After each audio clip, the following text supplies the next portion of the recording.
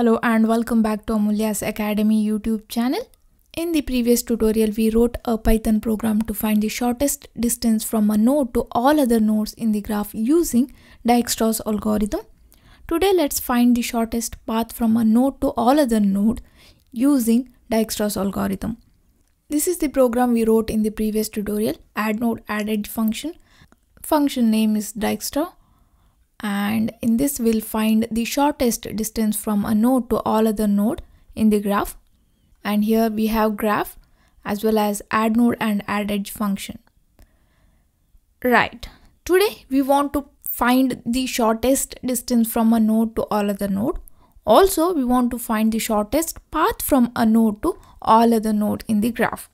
First let's take two variable. One is for source node another for end node. That is to find the shortest distance, we need source node or starting node.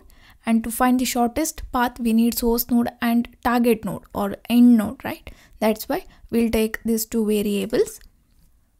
Next, before calling the functions to find the shortest distance and shortest path, let's see whether given two nodes are valid or not. So whether two nodes are present in the graph or not. For that we'll use if, elif and else condition. Like this, first we'll check whether given source node is present in the graph or not. If it is not, we'll print this message. Next we'll check whether end or target node is present in the graph or not. If it is not present, we'll print this message. If both the nodes are present, then only we'll call the functions.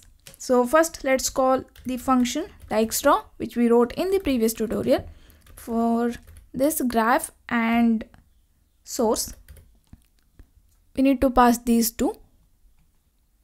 Then in the function call of Dijkstra here we can see graph and start. So start will be the source node.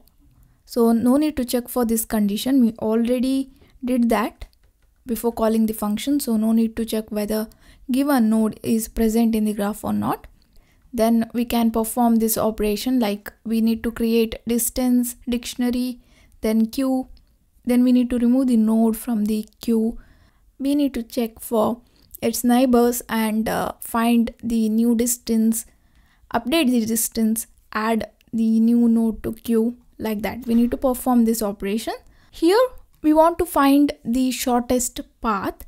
Previously we wrote a python program to find the shortest path in the given graph using bfs algorithm and here to find the shortest path using Dijkstra's algorithm, we will use the same logic. That is, first we need to find the parent node of every node or we can say previous node of every node. We need to store that in a dictionary. Then once we reach the target node, through that parent node, we need to construct the path, right? So we'll do the same thing here. Here, using this Dijkstra's algorithm, we need to get the parent node or the previous node of every node in the graph. So for that, create a dictionary using dictionary comprehension method. So here key is node of the graph and value is none. Initially, we'll take the parent node of every node as none.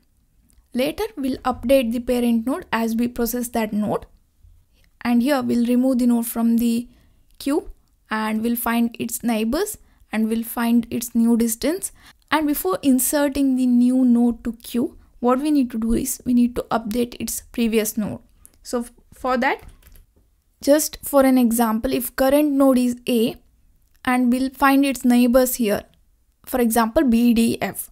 So for b parent node is a. For d also parent node is a. For uh, f also parent node is a that's why we need to write like this. Here we are done. And here while returning the distance dictionary, we need to return this previous dictionary also, parent node of every node also. So return like this, previous, done. Now here we can see this function call to this function and this function returns two value that is one is smallest distance then it will return parent node of every node present in the graph.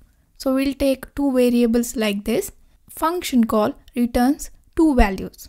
Next, we want to find the shortest path. For that, let's write a function def function name is shortest path and here to find the shortest path we need parent node or previous node of every node in the graph so for that i'll take here parent node that dictionary we need that dictionary as well as we need target node or you can call it as end node.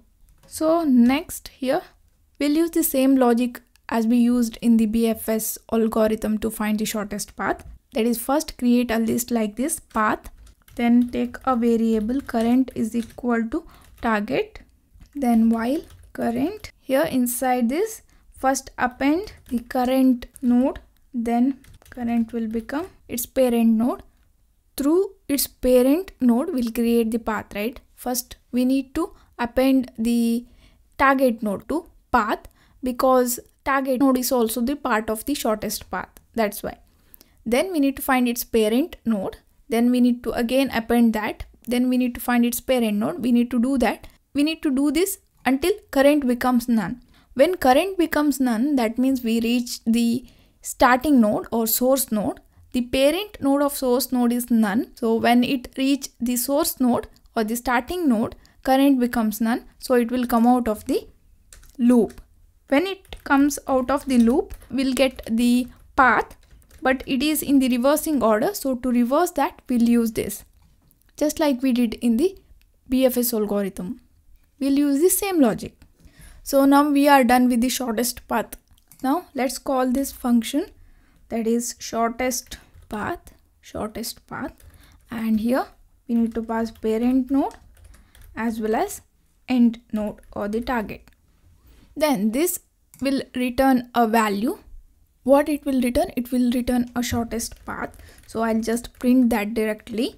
And here using this smallest distance you can print the distance minimum distance from a starting node to all other node or for a particular node first let's print the shortest path and shortest distance from the starting node to a particular node. That is end node i here okay? So here end becomes i so it will print the shortest path from the starting node to end that is a to i.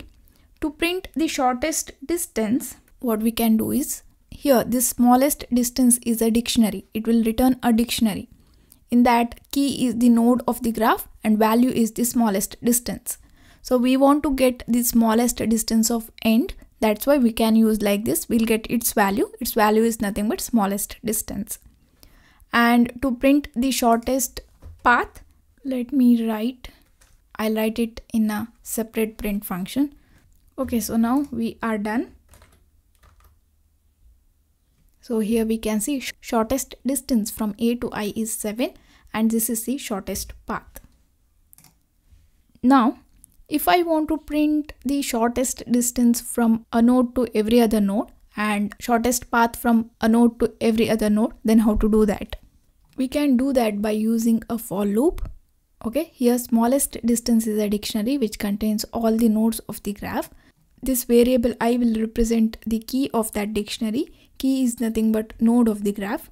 So here you can use smallest distance and smallest path like this shortest path like this. Save and execute. And here you can see the output. Shortest distance from a to a is 0 and this path. From A to B is this path. C A to C is this path. A to D is this path. A to E A to F A to G A to H and A to I. You can see here you can see every output.